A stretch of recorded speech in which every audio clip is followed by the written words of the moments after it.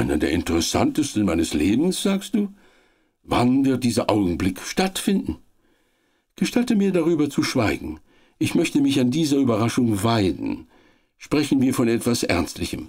Wie steht es mit deinen Verhältnissen? Wenn du Geld brauchst, so bin ich in der Lage, dir die Summe, die du mir schenktest, zurückzuerstatten, und zwar mit so hohen Zinsen, wie du nur willst. Mein Mann hat nichts zu sagen. Alles, was ich besitze, ist mein Eigentum. Ich habe in Neapel 50.000 Reichsdukaten und besitze eine gleiche Summe in Diamanten.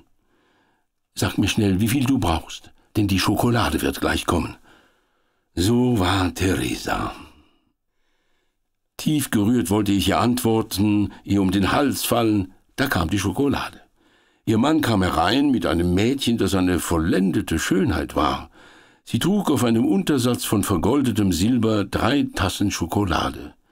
Während wir diese tranken, ergötzte Palesi uns, indem er in geistvoller Weise die Überraschung schilderte, die er empfunden hätte, als er sah, dass der Herr, um den er so früh am Morgen sein Bett verlassen musste, derselbe war, der ihn am Abend vorher nach dem Namen seiner Frau gefragt habe.